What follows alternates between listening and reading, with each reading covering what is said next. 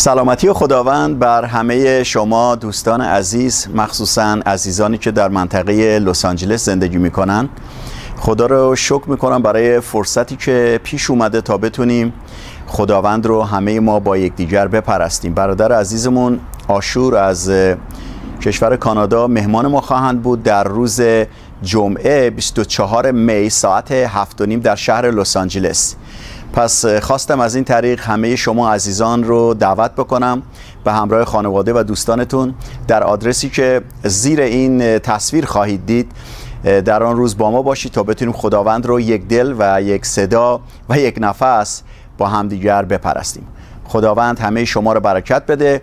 به امید دیدار.